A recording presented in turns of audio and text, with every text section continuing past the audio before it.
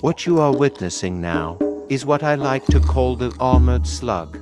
It's a fascinating species, one of many that is. The armored slug, or iron slug, has a unique way of eating.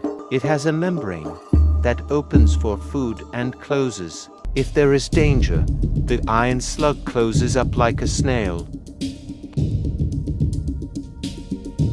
No damage.